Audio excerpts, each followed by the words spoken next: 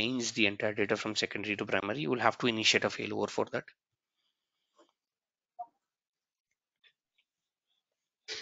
And failover changes everything. You know, failover gets your secondary to primary, primary to secondary, readjust that, and then you can let's say go ahead and access your data out there.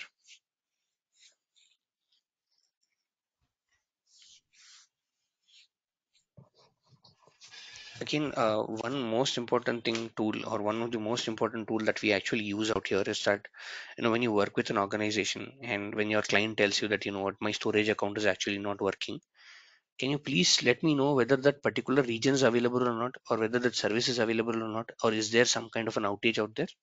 What we do is that there is a website called status.azure.com by microsoft and it tells you what is the status of a particular service in a given region? Let's say i'm i'm interested into something a region like east us2 where i've configured all my data and just scroll down under storages you'll have something called storage accounts all green. It tells you okay fine you know what? The service is available. The first troubleshooting that i'll start with is to check whether the service is available in a particular region called east us is it in central us yes this is great this is what it tells you. Green is good i is informational meaning i'm just giving you some kind of an information that patching is being done and etc warning and critical.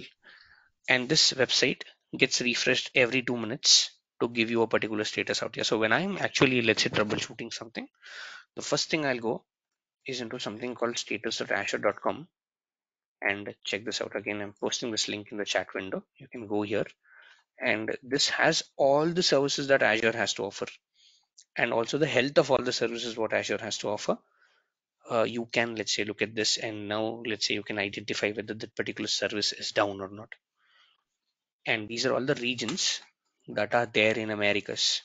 You have something called Americas, you have Europe, Asia Pacific.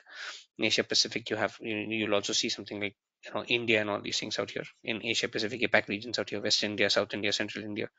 Middle East and Africa, Azure government primarily for US government and etc. Azure China only for let's say the region called China out here, and then you have the Jio data centers. Since Jio is let's say working with Azure right now, all the customers or, or the database of Jios are let's say in Azure right now. They have provisioned separate data centers for Jio India which is West India and Central India out here, where if you take a mobile connection and all these things, your data will primarily get into these particular data centers out there. And Azure is also giving you an idea on what are the services that you can go ahead and let's say create in this particular in data center called Jio, and what how what is the health of this particular service, and it is giving you all this information out here regarding those services as such. So when you are working with different companies or when you're working with a client, please come here check whether the service is available or not if the service is not available please immediately raise a ticket with microsoft work with microsoft and get your questions answered with that. So that's what we normally do or that's what we have we normally tend to do out there. Yes any questions still here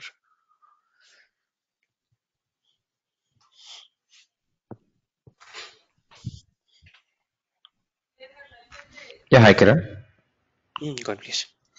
Yeah, in this uh, status Azure portal, uh, mm -hmm. We, need to raise the ticket to Microsoft or Microsoft by itself uh, their own team to check the statuses and all why because this is globally right.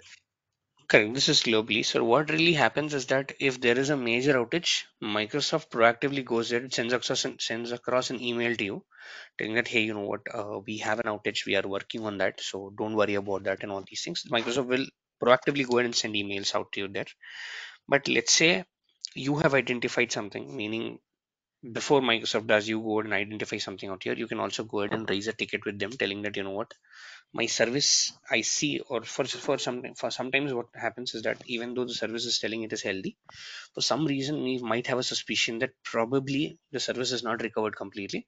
So i want to raise a go ahead and raise a ticket with microsoft. You can also do that to seek their assistance. But usually it is proactive. They go ahead and let's say proactively tell you that the service is not available and we're working on that and all that all those things out there. But sometimes you might also have to let's say raise a ticket with microsoft. I'll also show you how to create tickets with microsoft out there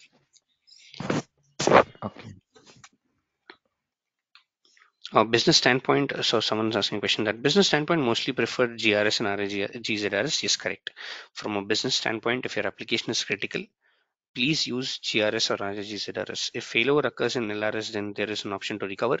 Very importantly lrs doesn't support a failover.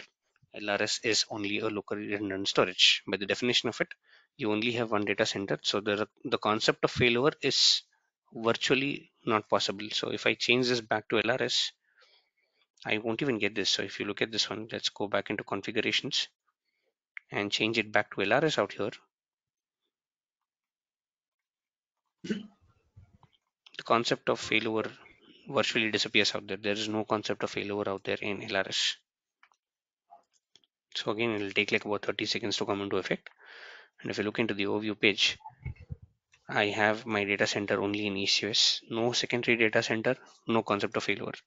Just scroll down, geo replication, East US2. You do not even see a button called prepare for failover. No, there is no failover at all. Geo replication is available only for GZRS, RAGZRS, and etc. Under this, you can let's say replicate your accounts to let's say different data centers out there. Yes, any questions to or anyone any questions? Uh, initially, uh, they preferred for LRS, right? Now, for just for Right. data loss, we're changing it to GRS. But again, when we have to change it to LRS, because they are they Uh, are uh, preferring LRS. Right. So if if the preference is LRS, uh, yes, you can change it to RAGRS for let's say if the primary region is not available, you change your account to let's say RAGRS. After the primary region is available back, you can do a failover once again, meaning you can do a failback once again. You can change your endpoints from primary to secondary, secondary to primary, and then get your storage account back into LRS. You can do that. And uh, also to you know just address to your question, when you prepare a failover, when you go and hit a failover button out here, the account automatically changes itself to LRS. It will go ahead sit in something called as a secondary endpoint and changes automatically itself to LRS out there because you cannot copy the data into a data center which is not available. So Microsoft goes ahead and uh, in order to try to reduce your cost, it will automatically change it to let's say LRS out there. Yes, someone else had a question. Go ahead, please. Yeah, uh, if, LRS is down, then I need to, I mean, uh, then I want to uh, relocate to ZRS or Z, RAZRS. Uh, Mhm. Is it possible to do after LRS is down or before we have No. to change that? Before we have to do it, reason being, I'm saying no reason being, if the region is down, Microsoft cannot also copy your data. Meaning, if you after the region is down, when you change that particular tier from LRS to GZRS or GRS and etc., the concept of copying your data from one point to the other also fails because that particular endpoint is not there. So Microsoft cannot even copy your data. So if Microsoft cannot copy your data, the data will not be available in the secondary endpoint, which defeats the purpose. Reason being, we create storage accounts, whichever storage account you think are very critical, we create them in something like GRS out there. Mhm. Okay, okay, thank you. Also, uh, Kiran, I have one more question. Uh, Mhm. Can you uh, can you give some examples uh, when we need to raise tickets with uh, Microsoft? Uh, what are the issues? Uh, I mean, you have experience uh, nearly eight to 10 Mhm. years, right? Uh, when mhm. uh, I mean, in which scenario, scenarios uh, you raise ticket with Microsoft? Any? Can you give some examples? Sure, definitely. As in, like, we raise tickets for any scenario that is beyond our control. See, the point here is that when you're working in a company with Azure or AWS or GCP, you are paying to that particular service provider. So you can kind of raise tickets for any scenarios. Normally, we what we do is that when we have an issue, we firstly troubleshoot it out, try to understand and try to check all the boxes from our end to see whether we are using the right set of data, to see whether we are using the right, let's say, replication tier, whether we did all the things right out there and all these things out there. Once, even if I'm not able to, let's say, resolve it beyond a point of one or two hours, we just go ahead, raise a ticket with Microsoft telling that, you know what, we need someone's help and we kind of, let's say, troubleshoot things out here. So scenarios like data failures, scenarios like we're not able to create storage accounts out there in a particular region we would like to understand so it can be a basic question or it can be advanced troubleshooting for anything we can we just go ahead and let's say raise tickets with microsoft out there and i'll also show you how to raise ticket with microsoft as such so does that answer your question Uh, Raj, I think you had that one. Yes. Yes. Thank you. Thank you. Okay, after changing the configuration, it takes about 30 minutes to change LS whatever else. 30 minutes data will backup, it will take in. Okay, whatever else 30 minutes data backup, it will take care of. No. Thing is that when you do a replication, meaning when you fail over, you only fail over because your primary region is not available. And when your primary region is not available, you won't even be able to write a data. So there is no point of data loss out there in that 30 minutes when it's trying to, let's say, change your tiers from, let's say, primary to secondary the concept of data data loss is virtually not there. Reason being in the primary center you won't even be able to let's say copy the data because it's not available. That's the reason you're doing a failover as such. Also one thing that i want you all to read through is these guys. There is a section for interview questions that i've separately prepared which has both the static and also the dynamic questions that come up during an interview and I have divided this accordingly with the services that we cover. So we cover Azure DevOps, we cover PaaS services and all these things out. What you'll start doing is start reading about storage accounts. There are a couple of questions you might not probably understand, which is super fine, not a problem. But each and every question you read and each and every answer that you you know kind of analyze, I've also given some articles.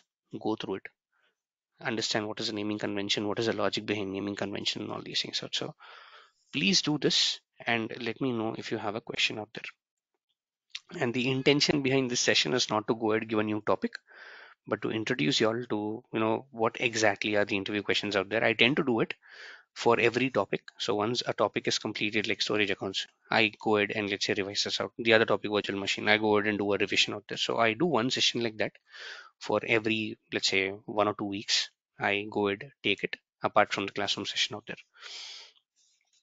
So yes, uh, so that's pretty much it that I had from my end on what to cover and all these things. What I want you all to do is please go through these things. Please go through these articles. Let me know if you have any questions. Again, I'll be available on classes Azure DevOps at the gmail.com. I'll just post my email ID out here. And if you have a question, please go ahead. Uh, please introduce yourself on which batch you belong to and uh, what is your class timing and etc. And ask your question. I'll make I'll make sure to answer that out within a couple of hours. Yes, any questions before I close, guys? Anything that I can take before I close? I have quick two minutes before I can close this out. So anything that I can take? Sir, can you get any alert from uh, Microsoft whether it is uh, the server is going to down in the data center in that area? Uh, you can, uh, you can, but you can also configure your own alerts, which we are going to look at. So if you just scroll down, right, there is something called alert mechanism where you can go and create your own alert rules and you can proactively get alerts out there. But if it's a global outage, then definitely yes, you will get an alert from Microsoft in the form of an email or a phone call and all these things out. But you also have the capability to configure your own alerts as such. Okay. All right, so with that, I'll close this session a little earlier today. And from tomorrow, we'll again continue with our regular classes and we'll look into partial We'll continue from there and we'll look into ARM and all these things out there. Please go through these questions, guys. What I want you to do is please go through these questions. Just write it down on the interview scenarios that you can, let's say, really look at. And if you have a question that you have heard in an interview and not covered in that particular document, let me know. I'll, I'll be more than happy to add that out with the explanation out there. Uh, thank you guys and have a good day ahead.